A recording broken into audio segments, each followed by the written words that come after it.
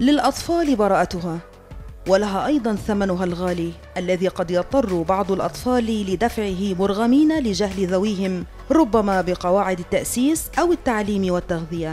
الأهم من ذلك كله حقهم باللعب فالطفولة عنوانها اللعب لا العمل يرى الأطفال باب الشهرة أمامهم مفتوح.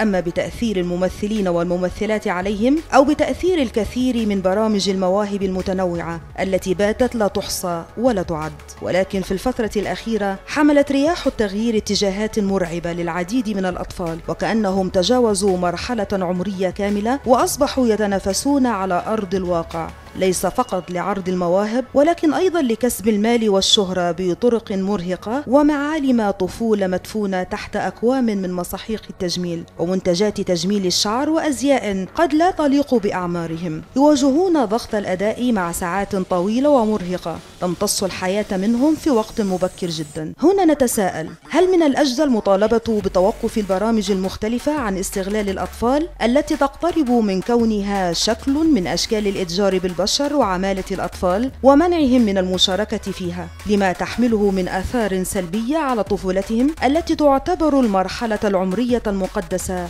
في حياة الإنسان؟